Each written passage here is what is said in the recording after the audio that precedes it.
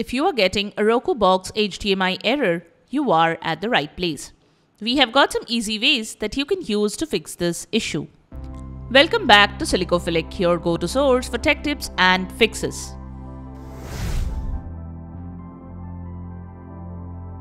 Method 1. Restart the Roku device. When getting a Roku Box HDMI error, the first thing you can do is restart the Roku device. This will refresh the connections and help in resolving the issues. To do so, turn off Roku, then disconnect the device from the power source. Make sure to turn off the router or the modem. Wait for a few seconds before connecting back to everything. Turn on the router or the modem. Restart Roku and the channel you were watching and check if the issue is resolved. If the issue persists, move on to the next solutions.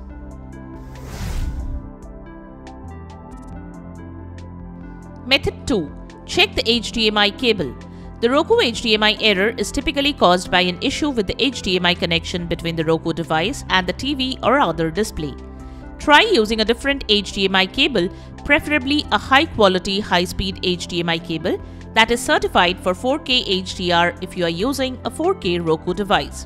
Inspect the HDMI cable ends for any damage, dirt, or obstructions and clean them if necessary. Try connecting the Roku directly to the TV using the HDMI cable, bypassing any intermediate devices like an AV receiver. Make sure the cable is connected firmly and there is no loose connection. Now check if the problem is solved. Method 3. Check the HDMI ports. Sometimes the HDMI port may be faulty. Ensure the HDMI ports on both the Roku device and the TV or the display are free from any debris or obstructions. So, plug the cable into a different port and then check if it works. Try using a different HDMI port on the TV as some ports may be designated for specific features like ARC or CEC. Method 4. Update the Roku software. Ensure that you have installed the latest software updates for your Roku device. An outdated system version can be responsible for such errors. To update the Roku, head to Settings. Select System. Select Software Update. Confirm if prompted. Wait for the process to complete. Wait till the system installs the latest updates. Once done, you can restart the system and check. Method 5. Use a HDCP compliant HDMI cable. If you have a provision to use HDCP compliant cable, use that. For that, visit hdmi.org and search for your brand of cable. Check the tag or the sticker and see if it is marked as an HDCP compliant. Besides, you can check the packaging of the cable. It will also be mentioned there. Generally, the older cables lack HDCP support and the latest ones are HDCP compliant cables.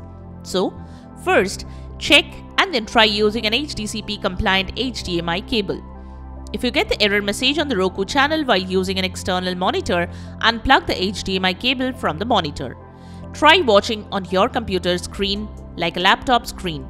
If it works, plug the HDMI back in firmly. Method 6. Adjust the Roku video settings. The next thing you can do is try a different display type on the Roku device. To change that, go to settings from the home page. Then select display type. Change the display type and see what works for you. Method 7. Use an external monitor. If you are watching Roku on a PC monitor, then try to connect your computer to a TV that supports HDCP. You can also try to use a different external monitor that supports HDCP. This can help you fix the issue. Method 8. Perform a factory reset. The next thing you can do is perform a factory reset. To do so, navigate to Settings, then head to System. Next, select Advanced System Settings. Select Factory Reset. Enter the number and follow as shown to finish the process. Wait for the device to restart. This will erase all your settings and channels, so be sure to note down any important information before proceeding.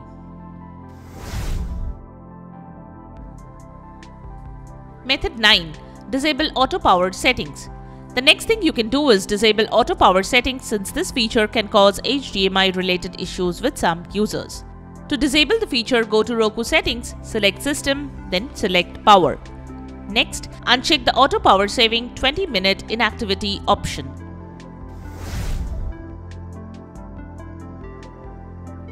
Method 10. Contact Roku support. If the issue persists after trying the methods shown in this video, there may be a more complex hardware or compatibility issue. In that case, you may need to contact Roku support for further assistance. And there you have it, the methods to fix Roku box HDMI error. We hope one of these methods have worked for you. If you found this video helpful, don't forget to give it a thumbs up and subscribe to our channel for more tech tips and troubleshooting guides leave a comment and help others know which solution solved your problem. Thanks for watching and we will see you in the next video.